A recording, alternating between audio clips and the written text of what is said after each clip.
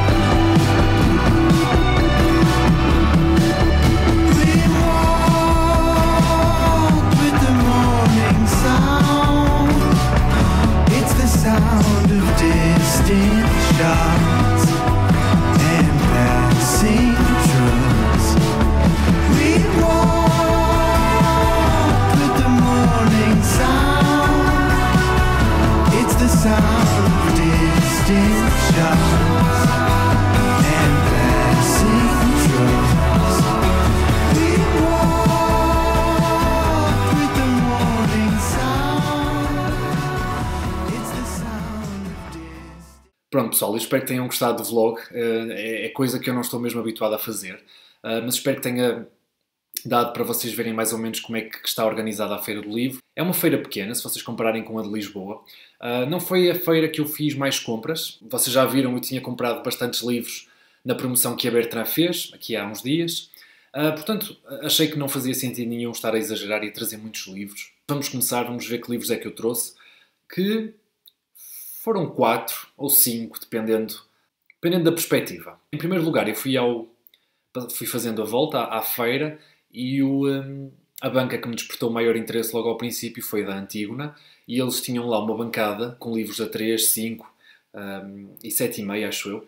E um dos livros que estava a 3 euros era este, do Platonov, Andrei Platonov, A Escavação, que é uma, mais uma distopia das clássicas e eu quero, quero muito ler, já ouvi, já ouvi coisas muito boas deste livro e eh, muito curtinho, a 13 euros.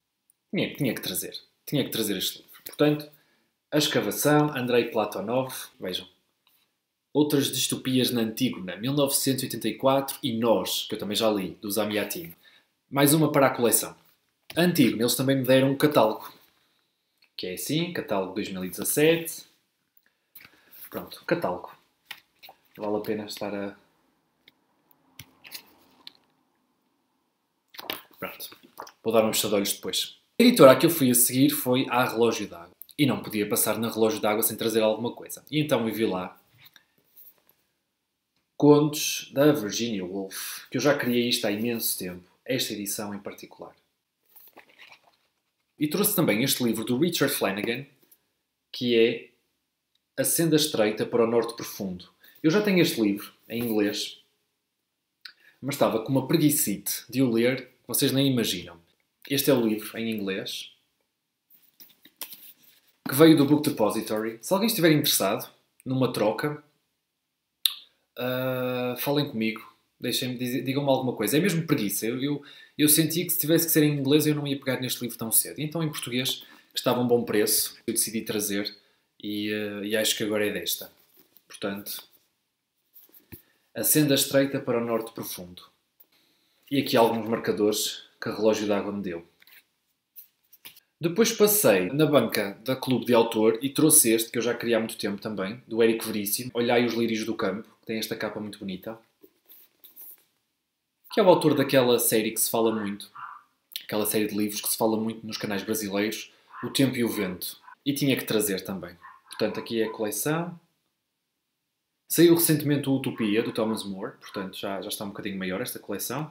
Eu passei em várias bancas, tinha lá marcador, tinha a presença, tinha a saída de emergência com promoções de 20%, 30%. Dizer também que estava lá a Mel Editores. A Mel Editores não tem uma banca própria. Os livros estão na banca da Dina Livro, acho que é assim que se chama, Dina Livro.